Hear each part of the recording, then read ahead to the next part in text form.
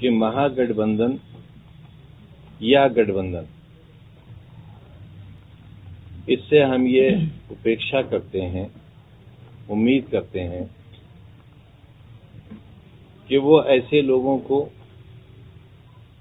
जो मौका परस्त हों, क्योंकि राजनीतिक माहौल प्रदेश का और उत्तर प्रदेश का बहुत तेज़ी से बदलेगा और बदल रहा है।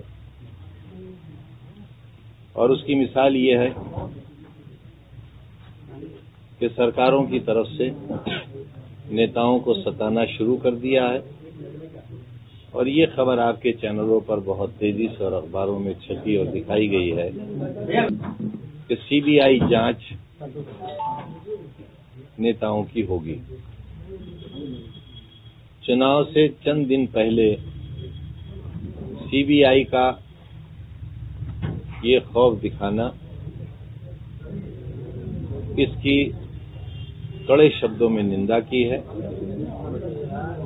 और भारत सरकार से और भारतीय जनता पार्टी से उम्मीद ज़ाहिर की है कि वो इन संस्थाओं का अपने राजनीतिक फायदों के लिए इस्तेमाल न करें। राम मंदिर तो है।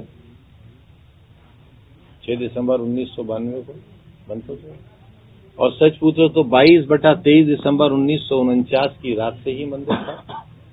मेंबर पर मूर्तियाँ थी, पूजा होती थी, नमाज़ बंद हो गई थी।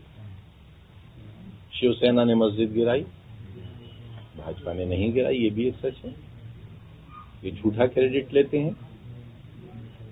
भाजपा से कोई लेना देना नहीं। भाजपा तो चाहती नहीं थी मस्जिद गिरे।